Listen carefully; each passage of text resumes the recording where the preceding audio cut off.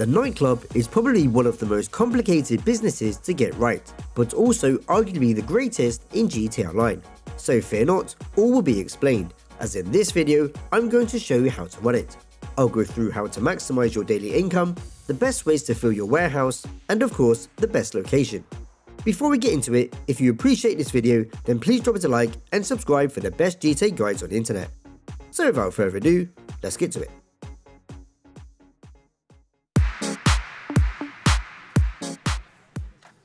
There are a total of 10 locations to choose from, all in and around the main city of Los Santos, with the cheapest starting at just over a million and the most expensive starting at 1.7 million.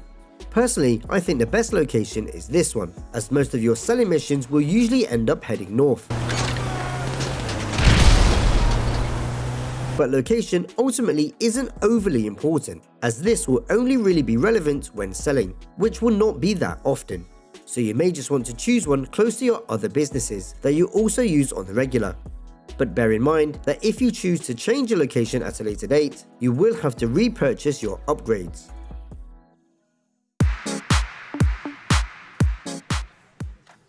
When you first purchase a nightclub, the only option that will make any difference to your income is your storage space, as this will determine how much stock you can hold at any one time. Everything else here is purely cosmetic, but you could be looking at splashing out over $5 million if you max out everything. You can also add up to 3 more 10 car garages at a cost of just over $440,000 for all 3. Once you've purchased a nightclub and done the handful of missions to get your DJ and equipment all together, you will need to spend even more money, as you'll definitely want to buy the equipment upgrade for just over $1.4 million, as this will increase the speed in which goods are accrued. I suggest also buying the staff upgrade for $475,000 as this will reduce the loss of income through the club's popularity. And you should get the security upgrade for $695,000 as this will reduce the likelihood of your club getting raided. The last two are not essential and can be bypassed for now, but they will make life easier. As you can already see, the nightclub is very expensive to get going, but stick with it.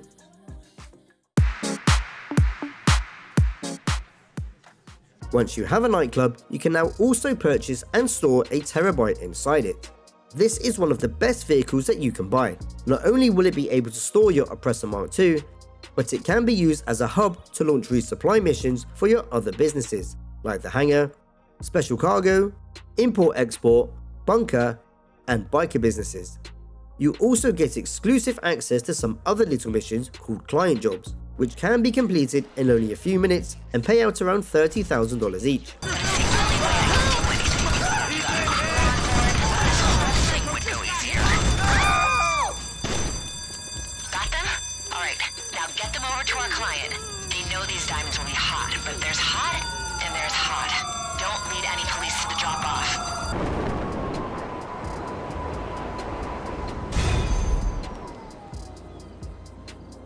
And of course, you have your warehouse floors where you can produce stock, which we'll get to later.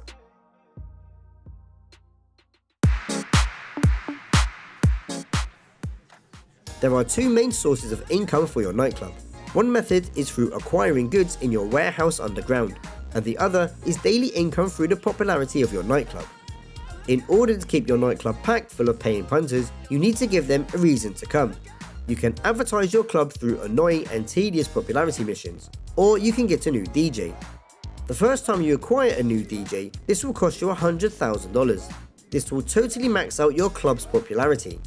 There are a total of four to choose from. There's Hacksaw Jim Duggan, the Pet Shop Boys, Norman Bates, and your mum. Unfortunately, all of them play monotonous garbage.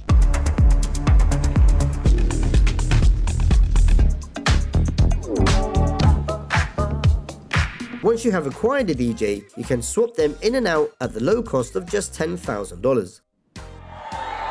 But this will only half fill a bar of popularity. But you can keep swapping these DJs back and forth until you fill your popularity bar up, which again, if your popularity is zero, will cost you $100,000. The best method is by going down into your warehouse and accessing the computer here, as you won't get the cutscene each time, a time save if you have to keep swapping them.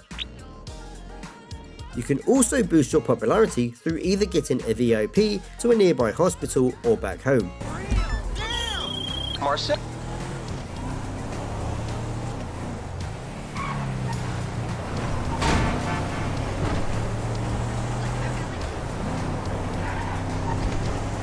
Not only will this boost your popularity, but you'll also get paid $10,500 for the trouble. The same goes for this drunk guy who needs throwing out, which will see you bag in $10,000 each time. This is the best option, as not only does it boost your popularity, you also get paid, and it takes just seconds. You can try and manipulate this one by entering your club while in passive mode and reloading into your nightclub until you get it. That's inconsequential. I'm okay. Just running some errands while I have a little free time on my hands. Hey, boss.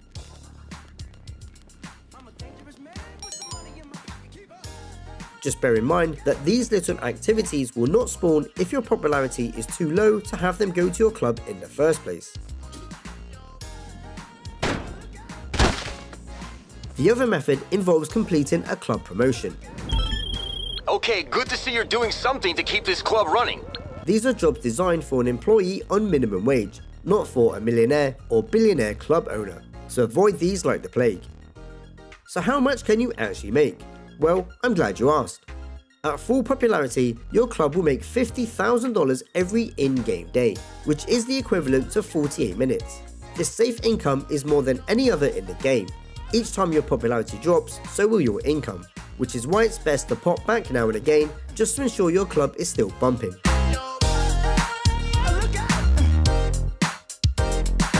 The safe can hold up to $250,000, but it's best to just empty it when you're next there, so you don't run the risk of having it full and therefore unable to have any more cash put in it.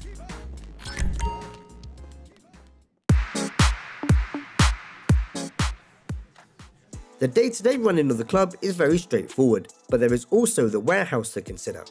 With the warehouse, you can employ up to 5 members of staff at a total cost of $878,000 who can produce stock to export, but these are all based on what businesses you already own.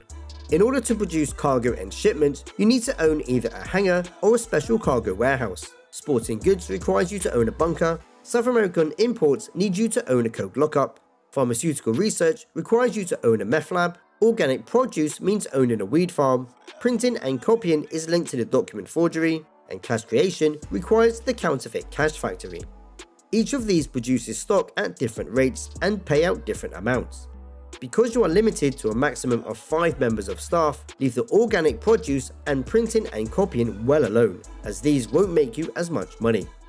Of course, owning the other businesses could set you back a massive amount of money, but as long as you own one and it is open for business, even if it is empty, this will allow your staff to start producing. So if you want to, you can just buy the cheapest options, not even spend money on upgrades, and simply use them to feed your nightclub.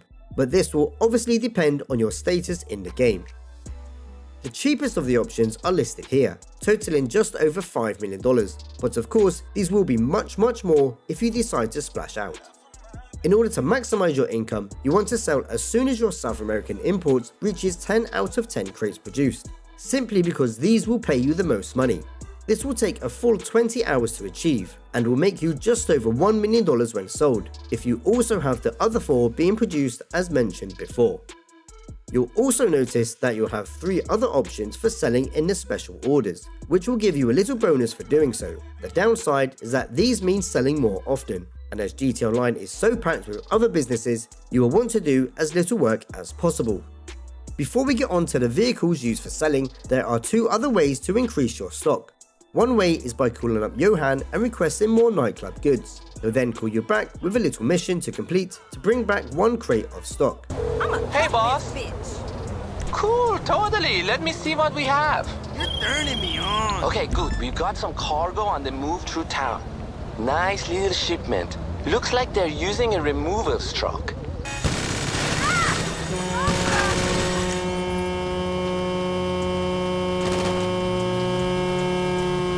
Lord in heaven! You don't have the option to choose the type of stock. This will be selected at random, but you will also get $11,500 for the trouble.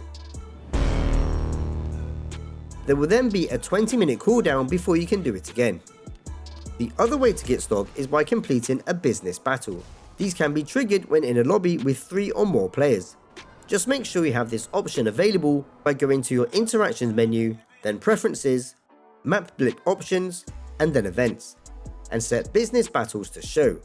If playing with friends, you can manipulate this to get these more often by having everyone hide in all the other events, so you will only ever get business battles, which will then start every 15 minutes or so.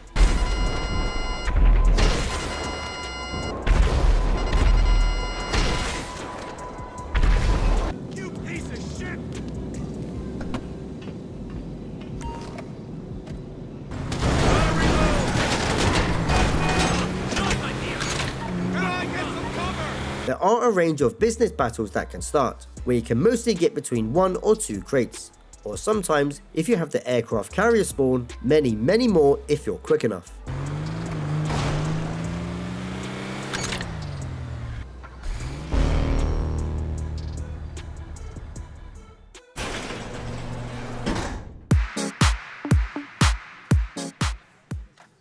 As for the vehicles used in the selling missions, there are three of differing sizes, which can all be used depending on how much stock you are exporting. Up to 89 crates, you can use the Speedo Custom. 90 to 179 crates, and it's the Mule Custom. And for everything else, you'll use the Pounder Custom. With the exception of the Speedo Custom, which comes with your nightclub, these can be purchased from the Warstock Cash and Carry website. You can save money by only buying the Pounder Custom, which will be large enough to carry all amounts of stock. Or if you're not quite rich enough yet, stick with the free Speedo. You also have the option to upgrade each vehicle, adding armor and weapons, which are definitely worth getting for selling in those public lobbies for the bonus.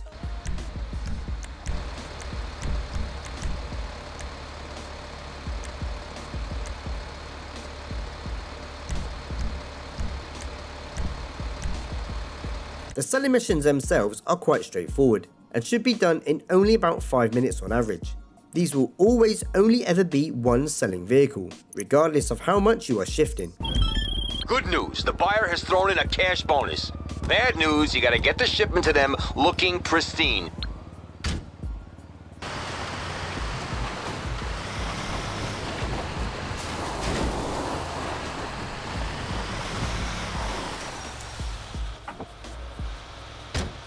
If you get these sold in a full public lobby, then you can get the extra 50% bonus, meaning around $1.5 million each time. Hey, hey, you made the sale. You got the money running through the tills, and in a minute you'll have receipts for everything. Minus the laundering fee, of course. After you've sold, Tony will take his 10% slice of the pie, capped at $100,000. If for any reason the sale doesn't go well and you reload into a new lobby, you will lose a bit of stock, and you'll have a 5 minute cooldown before you can try again. That covers everything you need to know about how to run a nightclub in 2024. So if you found this video useful, please drop us a like and subscribe for the best GTA guides on the internet. Here are some other videos you may also enjoy. I'm BeatsDown, and I'll see you in the next one.